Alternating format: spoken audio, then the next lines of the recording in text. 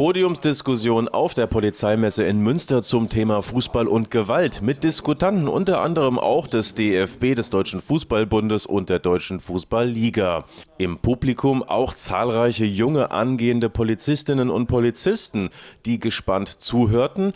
Ja, weil ich äh, ja, Polizeianwärterin bin und später ja auch zur Hundertschaft gehe und auch bei Polizei, ja, als Polizei halt bei Fußballspielen dabei sein werde.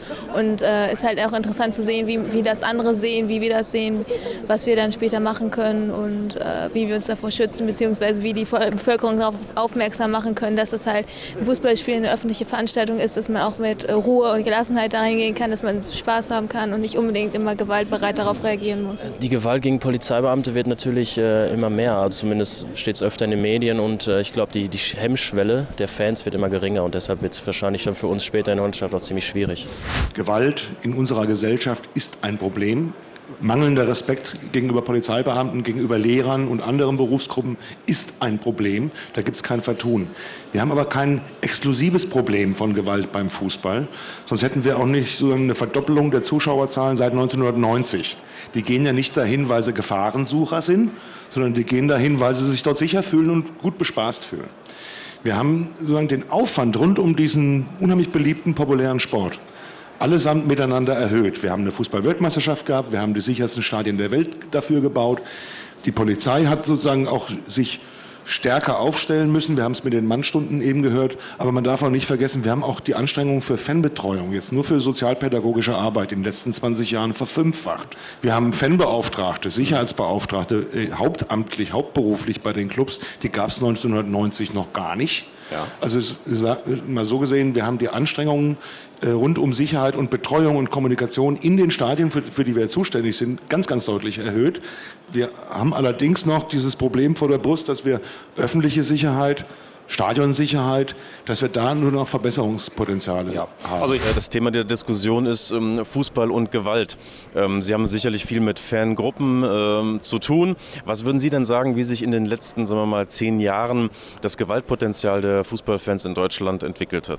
Wir haben eine ganz andere Gewalt, als wir die als wir sie ursprünglich mal hatten, wie wir sie noch definieren konnten mit Hooliganismus und ähnlichem mehr, wo wir Auseinandersetzungen mitten in den Stadien hatten. Die Stadien waren damals nicht ausverkauft, die Stadien waren auch noch nicht so von der Sicherheitsarchitektur her so modern. Ähm, wir haben Laufereien im Stadion gehabt. Inzwischen hat sich das Gewaltproblem aus dem Stadion raus verlagert. Also es kommt jetzt darauf an, wenn man einen Becherwurf ist ja auch eine Form von Gewalt. Ist aber eine ganz andere Gewalt als die, wenn jetzt sozusagen äh, Hooligan-Gruppen marodierend durch Innenstädte gezogen sind.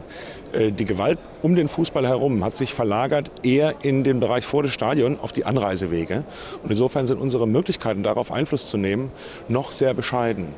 Ähm, deswegen, wir arbeiten natürlich dran, weil Modernisierung von Gewalt heißt ja auch, solange unsere Gesellschaft modernisiert, sie stellt sich anders auf. Wir haben ein anderes Publikum beim Fußball, auch ein anderes jugendliches, rebellisches Publikum.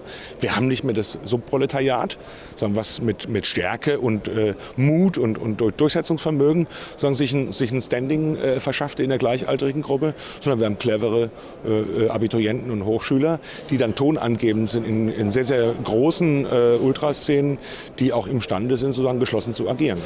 Innerhalb der Stadien ist es in der, Tat so, in der Tat so, dass wir durch die ja, bessere Infrastruktur, durch bessere Ordnungsdienste, aber auch durch bessere Polizei, ähm, ja, äh, bessere Möglichkeiten der Überwachung, Videoüberwachung, einen Rückgang von ganz klassischen gewalttätigen Auseinandersetzungen haben, haben aber im Bereich Pyrotechnik und im Bereich des Werfen von Gegenständen äh, Zuwachsraten in den letzten drei Jahren.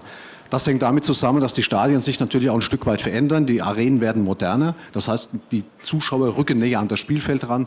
Diese Laufbahnen werden abgeschafft. Wir bauen die Zäune ab, um ganz einfach das Erlebnisfußball ein bisschen ja, näher und, und, und emotionaler zu gestalten. Die Frage ist jetzt, jetzt hat man diesen Becherwerfer, der auch nicht aus dem Fanbereich, sondern von der Haupttribüne aus agiert hat, äh, nimmt man den jetzt zum Anlass und sagt, okay, jetzt muss ich da wieder einen Zaun hochziehen. Also davon bin ich kein Freund, sondern ganz klar, äh, mein Petitum ist, wir müssen alle die, die sich äh, beim Fußball äh, durch Straftaten auszeichnen, ermitteln, wir müssen die verfolgen und zwar mit aller Härte und die auch dann auch in der Verurteilung zuführen. Das ist, glaube ich, das klassisch, klassisch Abschreckende.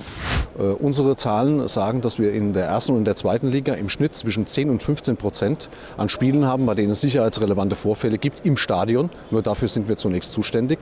In der dritten Liga, in der Regionalliga, liegt diese Quote bei 3 bis 5 Prozent. Also es gibt keine Verlagerung von oben nach unten. Aber das hat auch damit zu tun, dass wir eben einen Zuschauerschnitt in der dritten Liga haben von 5000 und in der ersten Liga von 40.000. Dass es dann natürlich insgesamt in der tatsächlichen Zahl äh, eine Mehrzahl von Vorfällen gibt, ist auch klar. Aber diese Mehr, das sage ich ganz eindeutig, es gibt eine Verlagerung von den oberen in die unteren Ligen, die ist so nicht richtig.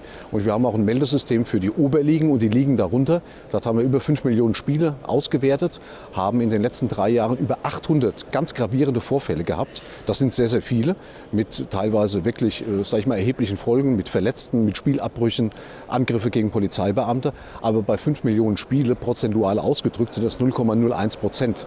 Also so gesehen äh, Spiegelbild der Gesellschaft ja oder nein. Also ich glaube, es ist beim Fußball weder schlimmer noch besser wie in anderen Teilen der Gesellschaft. Aber frag trotzdem, hat das dann das Gewaltpotenzial oder das äh, Potenzial der Aggression zugenommen? Ich glaube auch, das verneinen zu können. Wir haben in äh, den Stadien in Deutschland 99,5 Prozent der Zuschauer, die absolut friedlich sind. Wir haben einen ganz kleinen äh, Prozentsatz an Zuschauern, äh, die Gewalt suchen zum Fußballspiel gehen. Die werden auch von der Polizei in der Größenordnung 2000, 2500 beziffert, bundesweit, mit einer ja, Gruppe, die sich solidarisiert, in der Größenordnung bei 8000 anzusiedeln ist. Das ist verschwindend gering, aber die setzen sich medial dementsprechend in Szene und die Auseinandersetzungen mit der Polizei haben auch an Schärfe zugenommen. Das Feindbild hat sich in den letzten Jahren extrem verstärkt und so gesehen machen uns eigentlich relativ viele wenige, äh, sag ich mal, diesen Sport ein Stück weit kaputt. Schlussfrage an den Fernbeauftragten. Wo in äh, Deutschland, in welchem Stadion gibt es denn die besten Fans oder die friedlichsten und äh, ja. Also bis vor kurzem hätte ich wahrscheinlich unwidersprochen St. Pauli sagen dürfen. Ähm, ich würde trotzdem nach wie vor sagen, beim FC St. Pauli ist wirklich ein, ist, ist eine tolle Stimmung nach wie, nach wie vor, trotz dieses Becherwurfs. Das ist ein Einzelfall. Das, bei über 20.000 Menschen äh, kann das mal passieren. Der weiß auch nicht, heute heut nicht mehr, warum er getroffen hat. Ich würde aber vor allen Dingen auch sagen, dass die Stimmung beim Hamburger SV exzellent ist. Nicht nur, weil ich in Hamburg lange beheimatet war, sondern was mir an Hamburg so extrem gut gefällt, ist, dass ähm, die Wege zwischen heimischen und gegnerischen Fans offen sind. Das baut eine ganze Menge an potenzieller äh, Konfrontation ab. Das heißt, ähm, die Kommunikationsmöglichkeiten zwischen äh, heimischen und gegnerischen Fans sind exorbitant gut.